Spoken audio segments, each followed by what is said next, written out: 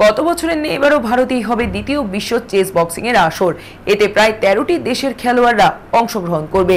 এর মধ্যে ভারতের হয়ে খেলবে ত্রিপুরার পাঁচজন খুদে খেলোয়াড়। কলকাতার ক্ষুদিরাম অনুশীলন কেন্দ্রে আগামী ছাব্বিশ থেকে উনত্রিশে জুলাই হবে এই বিশ্ব আসর।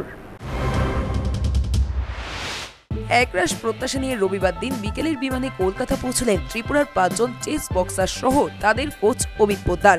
যদিও অমিতকে ডাকা হয়েছে ফেডারেশনের তরফে রেফারিং করার জন্য। কেননা ভারতীয় দলের কোচ মোহাম্মদ রইসের তত্ত্বাবধানেই সোমবার থেকে অনুশীলনে নেমে পড়বে রাজ্যের পাঁচ খেলোয়াড়। গত বছরও এরা এই বিশ্ব আসরে রাজ্য তথা দেশের জন্য কুড়িয়ে এনেছিলেন স্বর্ণপদক সহ রৌপ্য ও ব্রোঞ্জ পদক।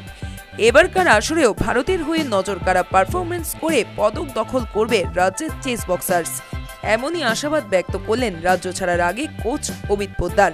তিনি বলেন, এবার নিয়ে দ্বিতীয়বার ভারতেই হবে এই world amateur chess boxing tournament.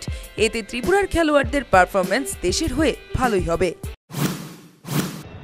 গত বছরও ভারতেই আমাদের অনুষ্ঠিত হয়েছিল এই first amateur world chess boxing championship. Chess boxing একটা নতুন খেলা সারা বিশ্বের জন্য। উনিশশো সাল থেকে এই খেলাটা প্রচলিত হচ্ছে, সারা বিশ্বে আস্তে আস্তে প্রচার প্রসার হচ্ছে। অ্যাকচুয়ালি এটা খুব প্রফেশনাল ওয়েতে খেলা হয়, যেখানে এটা চেস বক্সিং গ্লোবাল নামে খুব পরিচিত ওই খেলাটা। এখন লাস্ট মোটামুটি দু হাজার বারো সাল থেকে যখন ওই সঙ্গে ভারত জুড়ে গেল তখন থেকেই এটাকে অ্যামেচার ওয়েতে নেওয়া হচ্ছে এবং ভারতেই এটাকে লিডিং করছে। এবছরও মানে মেনলি যখন দেখা যাচ্ছে যে গত world first amateur world chess boxing championship খুব ভালো হয়েছে ইন্ডিয়াতে এবার ইটালিকে বিট করে আমাদের এবছরের যে এজিএম হয়েছিল ওয়ার্ল্ড বডির সেখানে ইন্ডিয়া আবারও মানে ওয়ার্ল্ড চ্যাম্পিয়নশিপটা পেয়েছে। সেটা আমাদের জন্য অনেক সৌভাগ্য।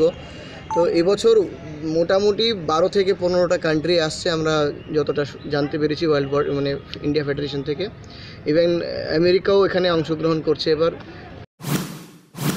Bureau report News Vanguard.